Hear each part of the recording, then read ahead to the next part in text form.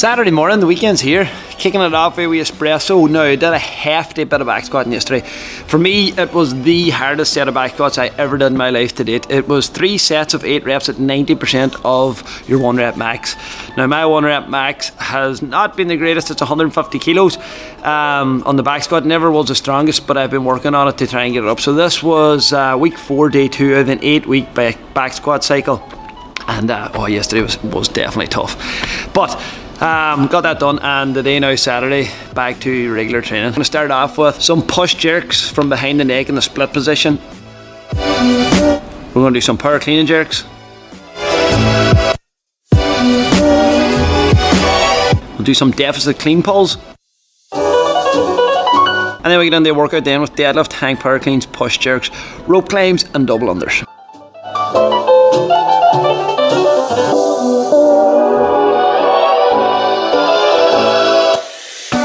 Then at the very end, then we have some 2k row conditioning. I plan to retest my 2k row in about three weeks' time. So this is kind of like the first out of three iterations on that, uh, geared towards retest in three weeks. And what we'll be doing here is 10 rounds of 500 meters on and one minute rest between 500 meters. That's the plan for the day, and we'll get started. Right, so we're kicking off with the push jerk behind the neck and the split. This is for quality, not load. You can either take the bar from the rack or the floor, whatever you like. The focus here in the push jerk uh, behind the neck and the split is to help strengthen the split position and it reinforces the proper position and the balance whenever you're in the split. And that should be equal between the both feet. This is also going to strengthen and reinforce the overhead position for the jerk. Focus on getting into an even split position with the weight equally distributed on your both feet. From there, focus on a strong punch out overhead and the bar should end up directly over the middle of your head or slightly behind. Those behind the neck push jerks are just used as a warm up. Now keep them at light weights. I just built across the five sets, went from 35 through to 50, and it's just enough to get warmed up. Now get on the power cleans and push jerks. Right, so moving into a power clean and push jerk complex. We're doing five sets of three power cleans plus one push jerk and all these sets are going to be performed at 80% of 100 max clean and jerk. For me, that left me doing this complex at 88 kilo. For your warm up on this, you could perform two to three warm up sets at about 75%.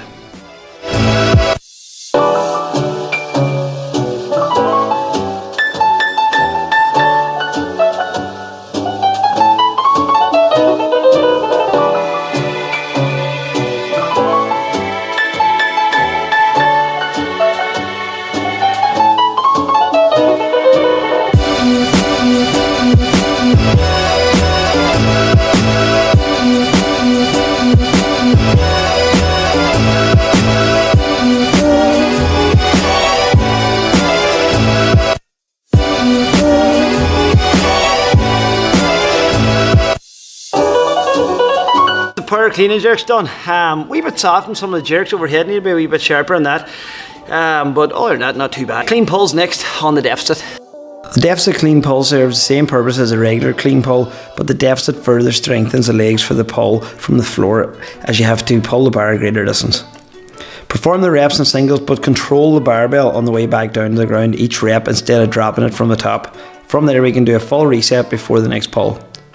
There should be a hard extension to finish the movement. Elbows may bend slightly, but don't intentionally bend your elbows and pull up on the bar.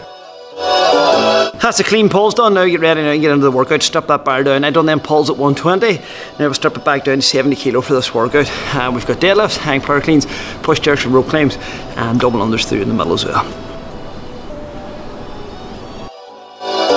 Moving into the workout, the first part, four deadlifts, three hang power cleans, two push jerks. I went unbroken on all these for every round. For the rope climbs, focus on taking as little pulls as possible to get up the rope each round. Does it require us to be a little bit more patient with each clamp to be sure our feet don't slide as we stand. If the double unders tend to tire you out, let's plan some breaks.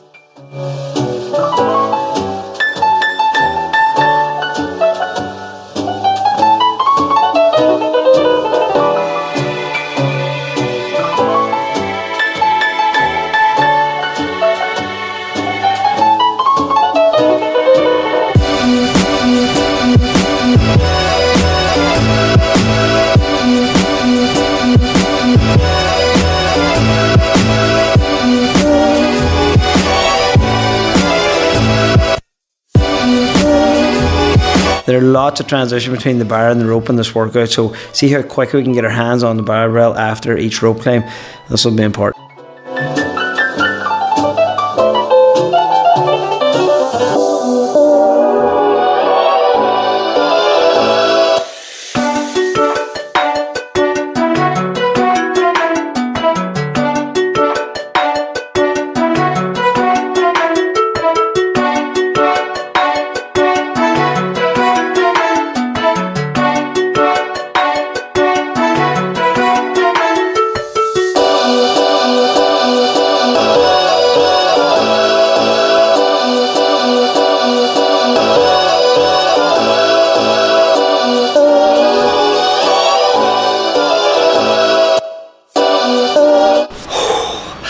That's the workout done. That was that was good. It was hot.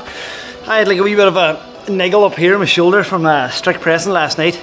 I didn't warm up and the strict press, and that's exactly what happened. So there's like a wee, a wee twinge here, but felt it tight after the first set of double unders, and then did the deadlifts all right. And then whenever it came to that hang power cleans, then I just felt it kind of pull in, so it was kind of sore. But other than that, everything went great. It's good workout. Whew, right we will um, get a wee bit of food on board here now and rest for a while. 10 o'clock class is coming on, get them set up for the workout. Then I'll get into that rowing piece after the 10 rounds of 500.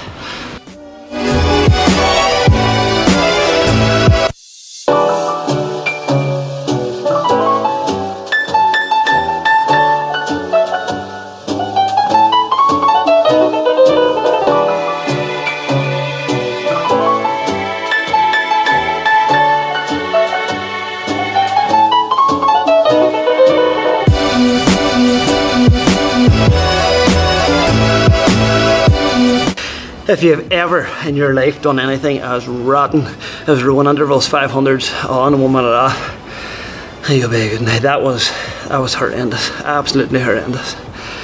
I suppose it's as hard as you make it, like, but I did try and make it hard. Like, it did give a good, solid effort every time. Like.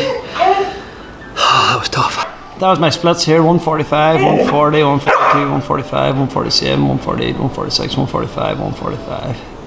Now, them split times are by no means the fastest about, but having not done 500 metre intervals at that intensity for a while, that's just my starting point. I say, this is three weeks now before I uh, test the 2k row again, so that's what we're starting with.